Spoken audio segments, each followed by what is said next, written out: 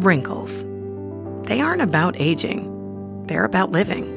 They're the lines that tell stories, show years of laughter, and a life well lived.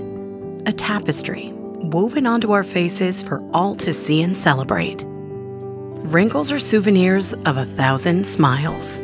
And as you accumulate more, we welcome them all. Bring us your wrinkles. Aegis Living.